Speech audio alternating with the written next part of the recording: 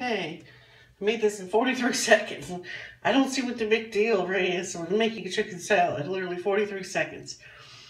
Slap in some lettuce. I have tomato pieces and salsa. I like the, the um, Hernandez salsa.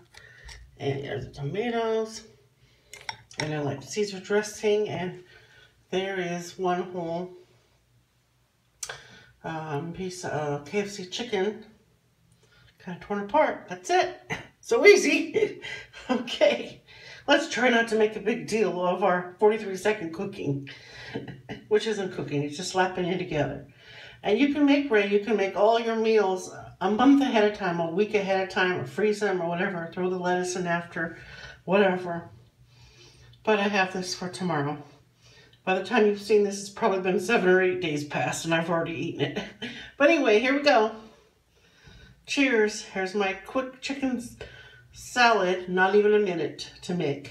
Bye-bye.